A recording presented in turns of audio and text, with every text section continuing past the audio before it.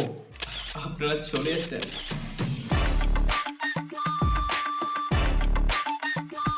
Mobile দিয়ে কম বেশি আমরা সকলে ছবি তুলে থাকি। আর মোবাইল দিয়ে ছবি তোলার ক্ষেত্রে আমরা একটা খুব ট্রেন্ডি জিনিস এখন ফলো করি, যেটা ম্যানুয়াল ক্যামেরা। আর ম্যানুয়াল ক্যামেরার কথা মাথায় আসলে আমাদের মাথায় আসে ISO exposure shutter speed. But এগুলোর মধ্যে আমরা একটা খুব ইন্টারেস্টিং জিনিসকে এড়িয়ে যাই, এইচডিআর হাই ডাইনামিক রেঞ্জ কথাটা যতটা কমপ্লিকেটেড শুনতে লাগছে অতটা কমপ্লিকেটেড না। লেট মি এক্সপ্লেন এইচডিআর বা হাই ডাইনামিক রেঞ্জ জিনিসটি বোঝার আগে আমাদেরকে বুঝতে হবে ডাইনামিক রেঞ্জ কি এবং এটি কীভাবে কাজ করে। ডাইনামিক কথাটা আমরা যখন আমাদের স্মার্টফোন বা ক্যামেরা দিয়ে ছবি তুলে থাকি, আমাদের ক্যামেরা মেনলি সিনারিতে থাকা তিনটে জিনিসকে বেস করে আমাদের ছবিটাকে প্রসেস করে।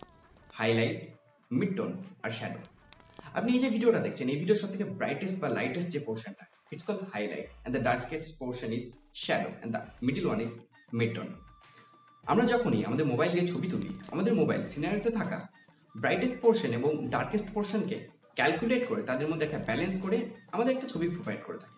বাট এখানে একটা বড় সমস্যা আছে।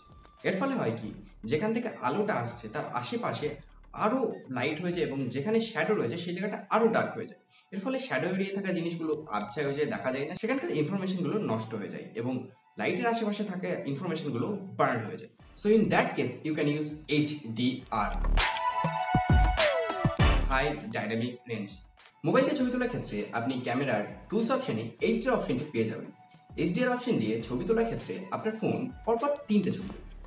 একটা ছবি নর্মাল ডাইনামিক রেঞ্জে সেকেন্ড ছবি তুলে আপনার সিনারিওটাকে যতটা পসিবল ততটা ব্রাইট করে। মানে ছবিটাকে ওভার এক্সপোজ করে। এর ফলে হয় কি শ্যাডো এরিয়ায় যে জিনিসগুলো আছে বা সেখানে যে ইনফরমেশনগুলো আছে, সেগুলো কালেক্ট করা পসিবল হয়। অ্যান্ড দ্য থার্ড যে ছবিটা তোলে, এই ছবিটাই আপনার সিনারিওটাকে যতটা পারা যায়, ততটা ব্রাইটনেসটাকে ডিক্রিজ করে দেয়। এর ফলে হয় কি লাইটের আশেপাশে থাকা যে ইনফরমেশনগুলো সেগুলো দেখা যায় বা সেগুলো কালেক্ট করা possible then with the help of the processor and the AI আমাদের স্মার্টফোন এই তিনটে ছবিকে কম্পাইল করে আমাদের একটা ছবি দেয়। আর এই ছবিটা তুলনামূলক ডাইনামিক রেঞ্জের ছবির থেকে অনেকটা বেটার কিন্তু কিন্তু কিন্তু, আমাদের জীবনে ক্রাশকে নিয়ে যেমন কিছু লিমিটেশন রয়েছে, ঠিক সেভাবেই এইচডিআর এর কিছু লিমিটেশন রয়েছে।